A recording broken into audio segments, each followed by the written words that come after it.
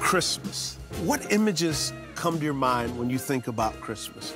We, we think about a tree and, and, and, and we think about presents under the tree, right?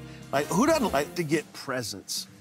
But the reality of Christmas is not about presents under a tree, it's about God's presence on the tree called the cross.